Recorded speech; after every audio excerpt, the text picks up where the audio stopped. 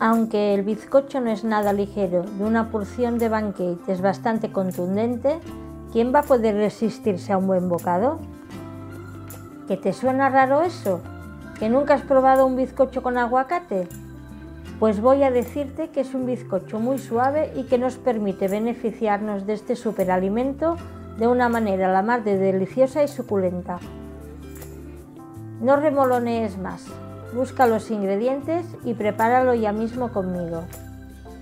Hola, soy Monse y estás en Trasteamos en mi cocina.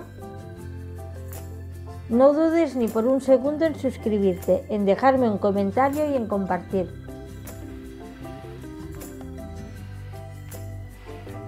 Me gusta tenerte conmigo y cocinar junto a ti. Es mucho más divertido.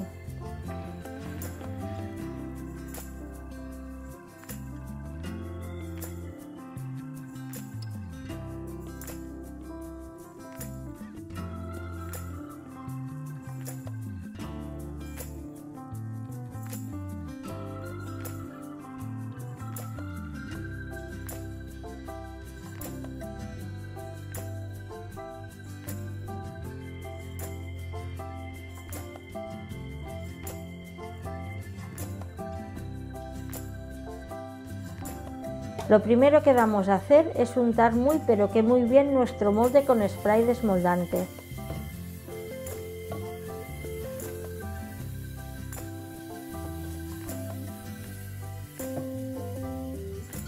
Y para que quede aún con un mejor acabado, espolvoreamos cacao en polvo.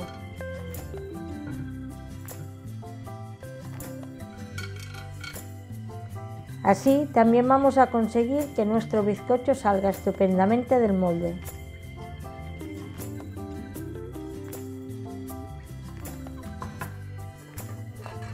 Pelamos el aguacate y lo mezclamos con el azúcar moreno y el aceite.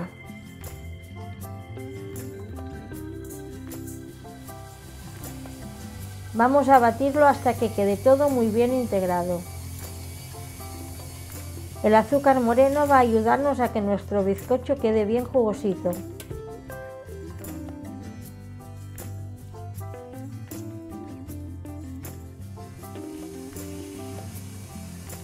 Mezclamos los ingredientes secos, la harina, la levadura, el bicarbonato y la sal.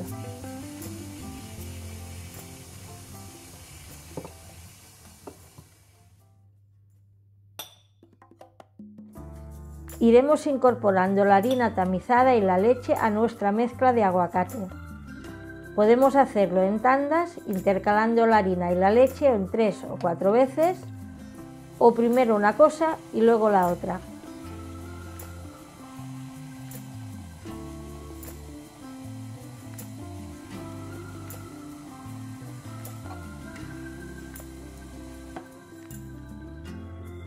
Por último, añadimos el cacao puro junto con la cucharada de café soluble que potenciará su sabor.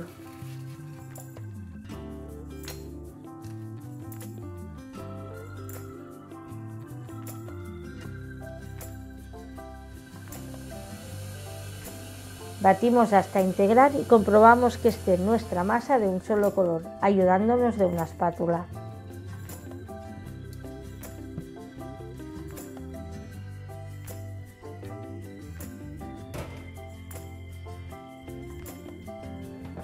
Precalentamos nuestro horno a 180 grados con calor arriba y abajo y a poder ser con ventilador.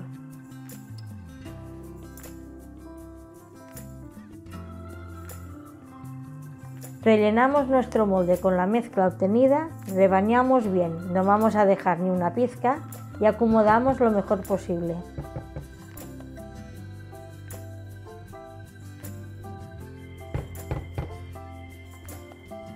Llevamos al horno y situamos el bizcocho sobre la rejilla central del horno. De esta manera conseguimos que el calor se reparta por todo el bizcocho de la misma manera. Pasado ya este tiempo, pinchamos la parte central de nuestro bizcocho para ver si está ya a puntito. En este bizcocho mejor que esté un poco húmedo. Si el palillo ha salido tal como debería, lo retiramos y dejamos entibiar sobre una rejilla. No lo desmoldéis antes de 10 minutos. Dejad que se asiente para que el relieve salga enterito. Ya podemos desmoldar nuestro van. Crucemos los dedos y allá vamos.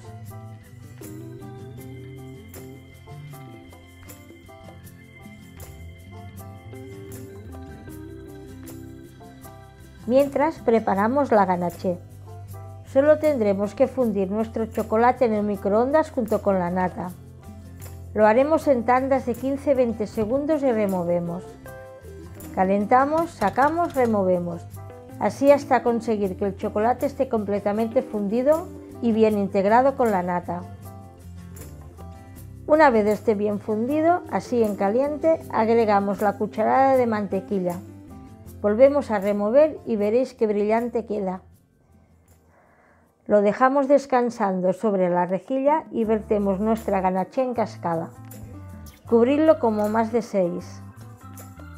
Dejamos enfriar y listo. Un pancake de chocolate y aguacate para no dejar ni una migaja. Nos va a aguantar en la despensa bastantes días. Tener la precaución de mantenerlo tapado y en un rincón fresco y seco. Recordad que es un bizcocho denso, no es para nada ligero, pero lo dicho, ¿os vais a poder resistir de pegarle un bocado? Yo creo que es casi imposible.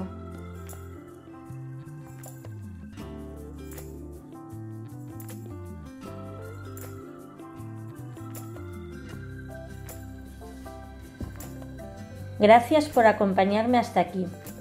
Si te ha gustado lo que has visto, no dejes de suscribirte y activar la campanita. Recibirás una notificación cada vez que suba una receta nueva. Me encantará recibir un comentario tuyo. Cuéntame qué te ha parecido mi vídeo y si te ha gustado, no olvides dejarme un dedito arriba. Encuéntrame también en Telegram, en las demás redes sociales y en mi página web. Aquí encontrarás la receta escrita. Tienes todos los enlaces en el comentario fijado. Me gustará verte en todos mis rincones. Nos vemos en la próxima receta.